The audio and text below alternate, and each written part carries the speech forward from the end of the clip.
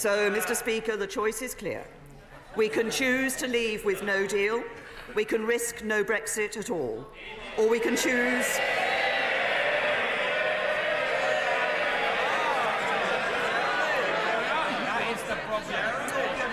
Or, or we can choose to unite and support the best deal that can be negotiated.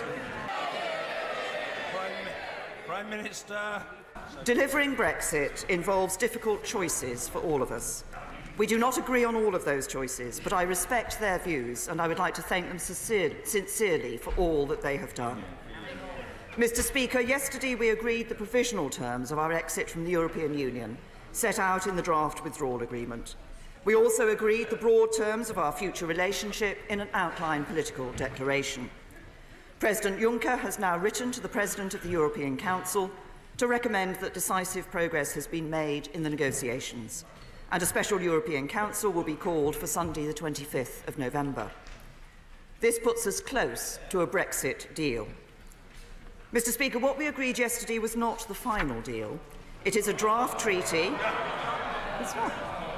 It is a draft treaty that means that we will leave the EU in a smooth and orderly way on the 29th of March 2019. And which sets the framework for a future relationship that delivers in our national interest. It takes back control of our borders, laws and money. It protects, it protects jobs, security and the integrity of the United Kingdom and it delivers in ways that many said could simply not be done.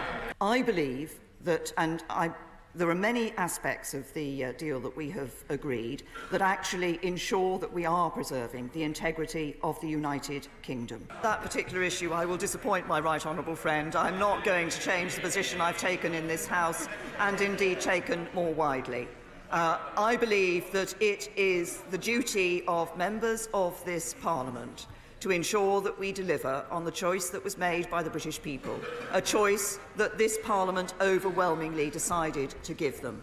That means that we will not be taking the option that she said of remaining in the European Union, but we will indeed be leaving the European Union, and that will happen on the 29th of March next year. Mr Speaker. This deal, a deal that ends free movement, takes back control of our borders, laws and money, delivers a free trade area for goods with zero tariffs, leaves the common agricultural policy and the common fisheries policy, delivers an independent foreign and defence policy while retaining the continued security cooperation to keep our people safe, maintains shared commitments to high standards, protects jobs, honours the integrity of our United Kingdom and delivers the Brexit the British people voted for. I choose to deliver for the British people. I choose to do what is in our national interest, and I commend this statement to the House.